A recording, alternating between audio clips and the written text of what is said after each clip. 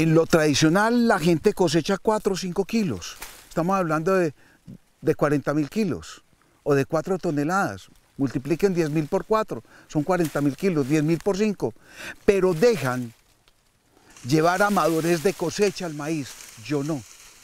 Mucha gente coge y compra una picapasto que su nombre es falso, se llama ripiadora. Y con esa ripiadora cosechan al maíz, venden el maíz, venden la mazorca ya desgranada y esto lo pican, lo ensilan. Si usted ensila basura, basura vende. Si usted ensila basura, basura compra. ¿Qué quiere decir esto? Aquí se perdió la calidad nutricional de la planta. Mientras que en una madurez fisiológica yo puedo tener un 15% de proteína, a un, 25 más de madurez fisiológica, a madurez de cosecha, entre 15 y 25% de proteína, aquí la proteína es del 4, 5, 6%. Pero cosechan el maíz en madurez de cosecha. Yo no. Yo cosecho toda la planta. La gente dice, es que hay que ensilar cuando el maíz esté seco porque la mazorca está dura. Claro, la mazorca está dura en este caso. Miren el maíz, que es que esto, esto es la energía que necesita el animal. Están completamente equivocados. Quien tenga el concepto que el maíz hay que dejarlo secar para ensilarlo, para que la mazorca se parta en pedazos por la ripiadora, que porque esto produce energía, se les olvidó agronómicamente que aquí hay lignina y celulosa, poca rumia, poca eficiencia en la rumia, poca eficiencia en la digestibilidad.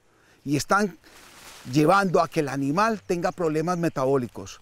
Más rumia, menos eficiencia en la rumia, menos digestibilidad de esa celulosa la lignina. Pero se les olvida algo agronómicamente. Un pasto es fuente de energía. Un pasto es fuente de materia seca. Un pasto es fuente de proteína. ¿Qué quiere decir? Que en este caso el maíz, el maíz como lo manejo, porque yo manejo la bioquímica del suelo, la nutrición del suelo para usted. Manejamos con nuestro equipo técnico en Tierra Pastos y Ganado la integralidad de mecanización, nutrición de suelos, planes de fertilizaciones integrados y manejo madurez fisiológica a madurez de cosecha. Y en esta madurez fisiológica yo estoy demostrando que el maíz, como el pasto de corte, como cualquier otro borrague, es fuente de energía, es fuente de proteína y es fuente de materia seca. Pero quien esté pensando que tiene que dejar secar el pasto para ripiar con una ripiadora la mazorca del maíz, hay gente que dice que abran una bolsa de silo y si no encuentran trozos de mazorca de maíz, no sirve ese silo. Eso es teoría y eso es comercio. Están castigando la calidad nutricional de un forraje por una mazorca.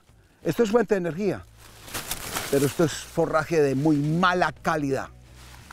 En cambio, yo integro fuente de energía, fuente de proteína y fuente de materia seca. Aquí con nosotros es diciendo y haciendo, viendo y aprendiendo en tierra, pastos y ganado para transformar ganaderos en agricultores empresarios, productores de carne y leche.